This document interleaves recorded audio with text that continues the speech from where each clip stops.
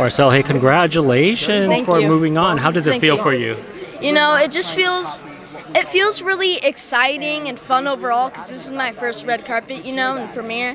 And I'm really excited to see how it turned out and it was just really fun to film on. So, how was the experience, you know, filming with a Lily Tomlin? Yeah.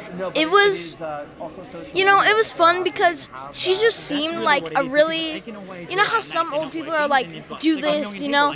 But she just seemed really natural and really nice to me, you know? She's just a really nice person and the whole experience with her, it was really fun cuz she didn't really judge me for who I was. Did she give you advice as a young actor? That is like more than she kind of inspires me to just be yourself and be natural, you know? Before you did, did this movie, did you even know who she was? before I did this movie, I could hear sometimes like my parents talking about her, but other than that, I didn't know who she was because you know I didn't watch like films back then, and but now that I figured out who she was, she just seems awesome.